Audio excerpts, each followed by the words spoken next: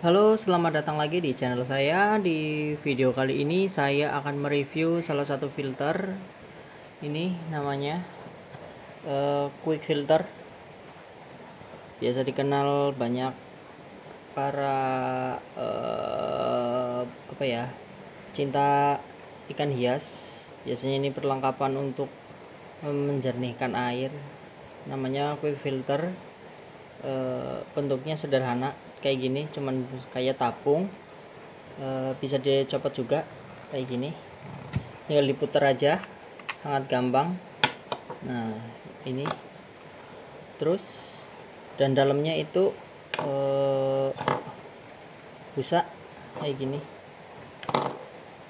Busa nah kayak gini. Nah. Kalau untuk apa uh, istilahnya kegunaannya sih bisa ditaruh uh, di kolam juga bisa ataupun di akuarium juga bisa tapi dengan uh, ukuran yang lebih besar kalau untuk akuarium kayak gitu. Soalnya lumayan makan tempat juga ini besar.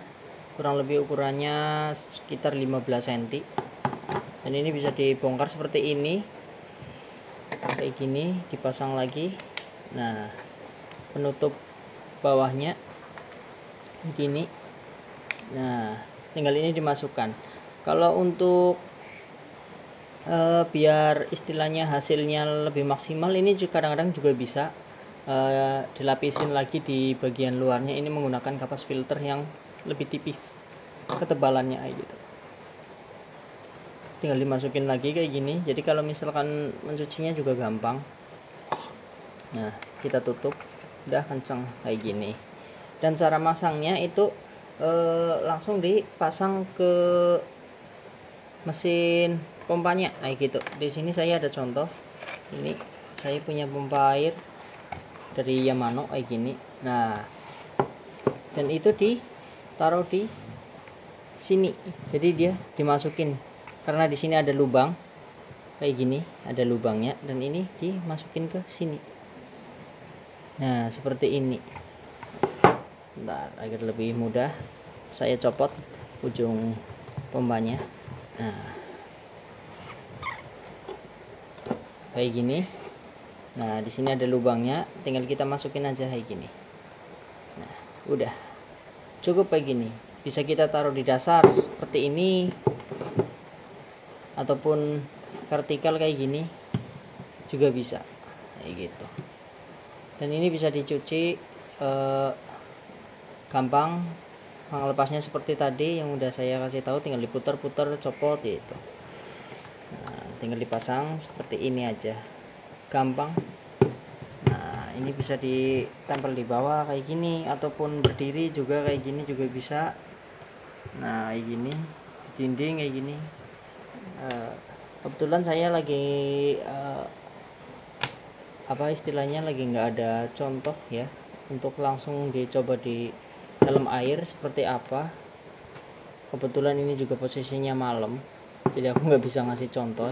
Yang penting eh, gambarannya udah eh, udah tahu seperti apa kayak gitu. Bagi yang ingin membelinya ini gampang kayak gini. Jadi nggak perlu ribet kita eh, harus pakai istilahnya kayak kotak filter kayak gitu juga nggak perlu. Cukup pakai gini aja. Harganya juga murah.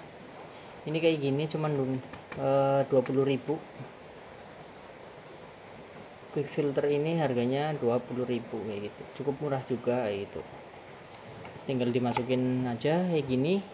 Kalau misalkan udah lumayan kotor tinggal dicopot aja dilepas seperti ini. Kita bongkar. Kita istilahnya kita kucek dengan air kayak gini. Juga udah bisa gampang kayak gitu. Jadi nggak perlu repot-repot. Oke mungkin kayak gitu aja untuk review quick filternya. Kali ini uh, sedikit memberi gambaran aja. Kalau mau yang uh, istilahnya bingung milih filter yang seperti apa mungkin ini bisa salah satu uh, contoh memberi gambaran. Salah satu filter yang mungkin simple mudah apa maksudnya mudah e, bisa di apa istilahnya bisa dibersihkan. Cara cara perawatannya gampang lah istilahnya kayak gitu. Semoga bermanfaat video kali ini untuk review quick filternya. Terima kasih yang udah mau menonton. Pokoknya jangan lupa like subscribe uh, tinggalkan komen mungkin ada pertanyaan atau memberi saran apa terima kasih banyak. Uh, pokoknya tunggu aja untuk video-video selanjutnya mau bikin video apa lagi